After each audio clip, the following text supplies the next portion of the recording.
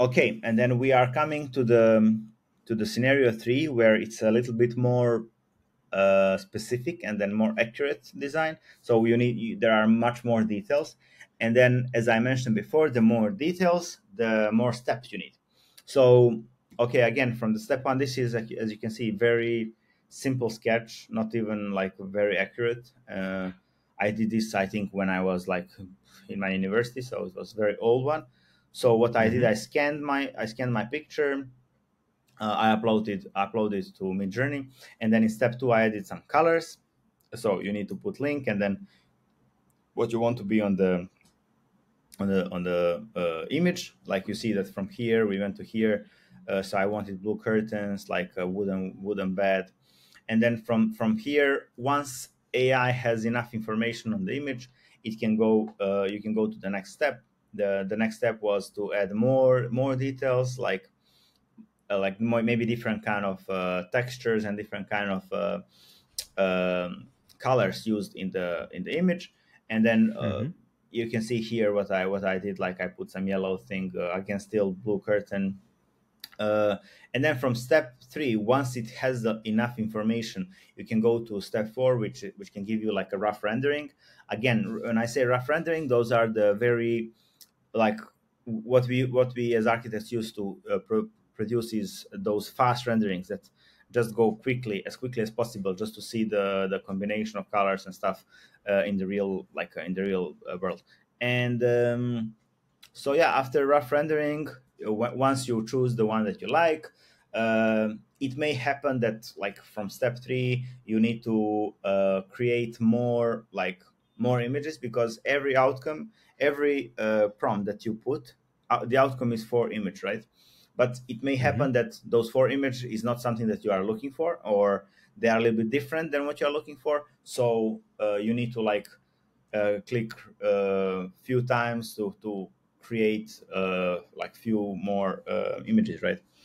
And mm-hmm. then once you chose the one then then you go to step five where you are going to put like a fine tune rendering. You can see here mm-hmm. uh, so and then you, you here you can add more more detail like a description of the what kind of uh, picture what kind of camera what kind of lens what kind of lightning and stuff um, and then after that one like from step five to step six uh, once you Whoa. once you create something uh, like that you like you can go from rendering to photo and then from mm-hmm. from rendering to photo like it's even more accurate and then uh, from this one uh, so on the way to create this one, uh, Midjourney gave me a few of the different uh, iterations that I liked.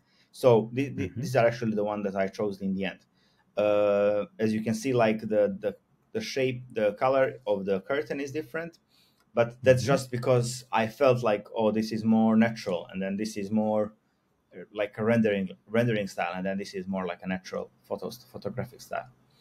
Uh, they look can, amazing. Yeah, and then you can see here what I what I so so from like you can see that my sketch was this, and then we ended up like this. So same corner, mm-hmm. same angle. Uh, this is I mean this is what I was aiming for, and uh, like it, for for this for this uh, it took me literally from the like after I drew the sketch, very very rough sketch. Uh, it took me like I don't know, 10 minutes to produce those two images. And Whoa. then and, and, then this is enough for the client to show, oh, what, what do you think about this? And then client say, oh, I like this one or I don't like this one. Mm-hmm. Ah, mm-hmm. You understand?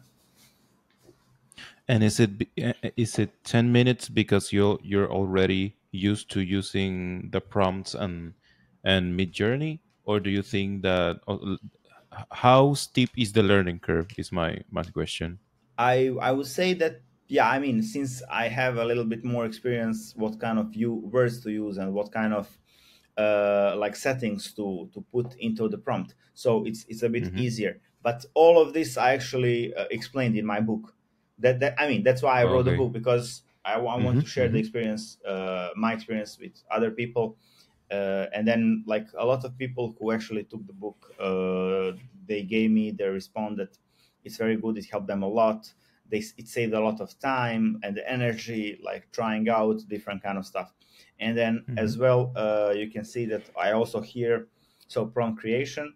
It's another uh, another chapter in the book, and then where I actually put how to do uh, how to do the the stuff. Uh, and that, and that's exactly what i'm what i'm looking at that the prompt it's like it's the magic it's where it, it it's where it all happens yeah, and and and it's unbelievable because the thing is the the better or more detail you you put on the prompt the better the outcome exactly. and and and one of the things that I saw on on the last one that I that I thought that was genius that I wouldn't I wouldn't thought of is that it says Canon EOS R3 with 16 millimeter lens like you even Yeah. specified the kind of camera and the kind of angle that yes. that is gonna take and, and that's awesome that's that's amazing So uh, that's why I said uh, I always mention this that universities are never going to die because universities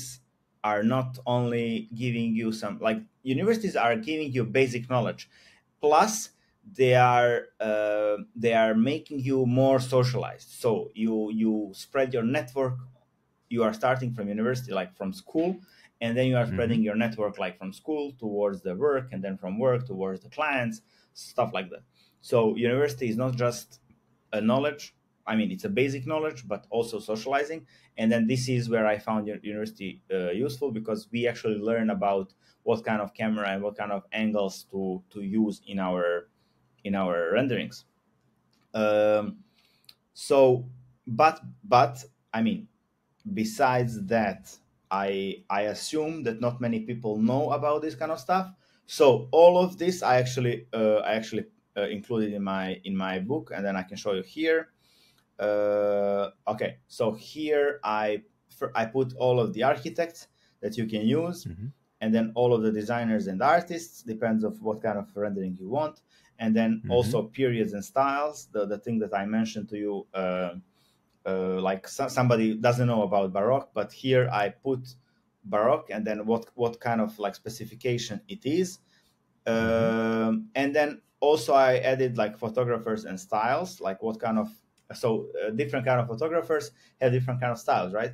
So in order Yeah. for you to experiment with image that you like uh, i think it would be very good for you to experiment with the photographers as well because this is how the ai is uh, learned on and then as well i also uh, added like camera and lenses and then what kind of camera is used for what kind of um, uh, thing. And then uh, also here like what, what kind of lenses are uh, used and then what kind of um, uh, features of the lens.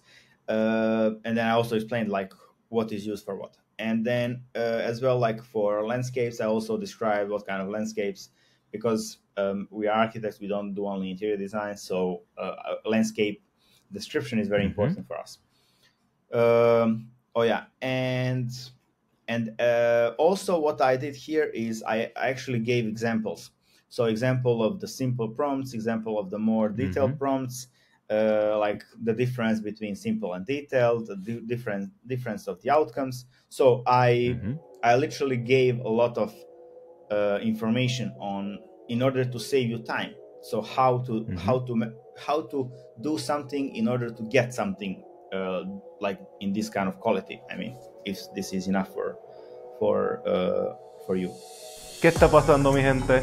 Si les gustó este video pueden ver la entrevista completa aquí y no olviden suscribirse.